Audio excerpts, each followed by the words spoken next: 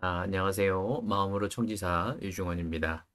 자, 이번 시간은요, 캡컷 PC에서 그림을 자동으로 생성해주는 사진을 자동으로 생성해주는 기능이 생겼어요. 같이 한번 살펴보도록 할게요.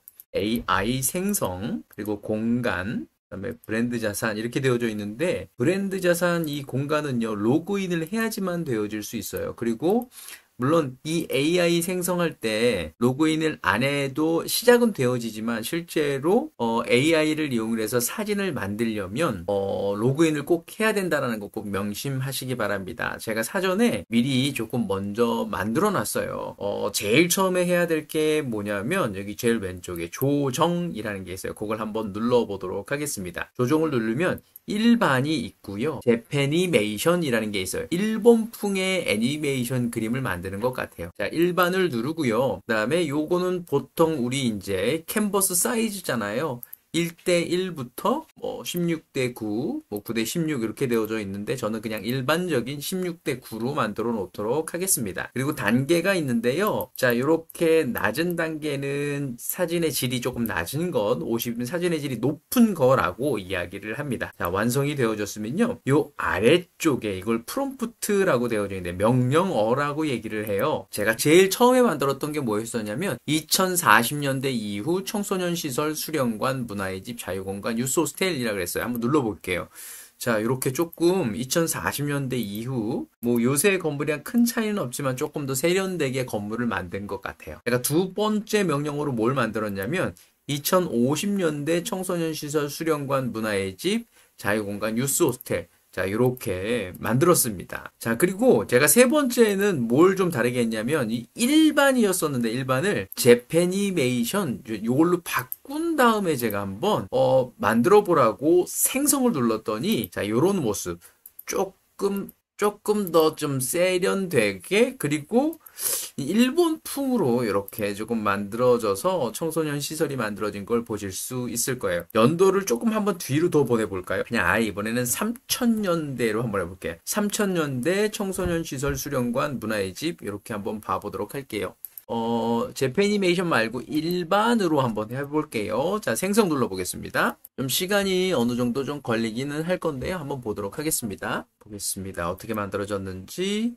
저 3000년대 돼도 큰 차이는 조금 없는 것 같은데 그러면 제가 4차 산업혁명이라고 해볼까요? 디지털 시대 청소년 시설 이렇게 한번 해볼까요? 자, 다시 한번 생성 한번 눌러보겠습니다. 채 GPT나 이런 데서도 그림을 많이 생성을 해보고 그 다음에 이런 건물들을 만들어 보도록 제가 이제 명령을 넣어봤는데 그것보다는 조금 더 수준이 더 높은 그런 수련 시설이 만들어진 것 같습니다.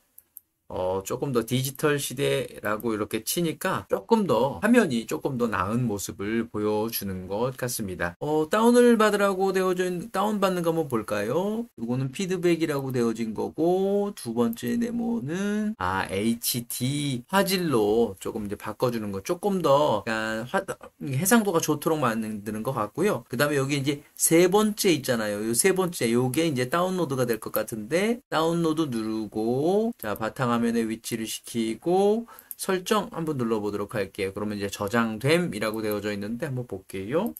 아, 이런 모양으로 이렇게 저장이 된 걸 확인할 수가 있습니다. 근데 그렇게 화질이 그렇게 좋은 상태는 아닌데요. 자, 요거 한번 볼까요? 자, 요거를 다운로드 한번 해볼게요. HD라고 한 걸, 요거는 작은 거. 아, HD로 바꾸니까 조금 더 화질이 좋게 사진이 만들어지는 것 같습니다. 아, 그러면 여기서 이제 만들어졌을 때두 번째 네모가 있잖아요. 여기 두 번째 네모를 눌러서 다른 걸 한번 해볼까요? 여기서 두 번째 네모를 눌러서 조금 이제 고화질로 만들고 그리고 난 다음에 다운을 받으면 조금 더 멋진 사진을 만들 수 있을 것 같습니다. 영상을 만들 수 있을지는 모르겠습니다. 어디 한번 볼까요? 스텔 동영상 이렇게 해볼까요? 영상이 만들어질지 모르겠습니다. 음, 동영상이 만들어지는 거는 아, 동영상은 만들어지진 않을 것 같습니다. 오, 그런데 어쨌든 요거를 디자인을 조금 뭐라 그럴까 어, 활용을 하고 어, 참고를 하는 데 많이 좀 도움이 될 수 있을 것 같습니다.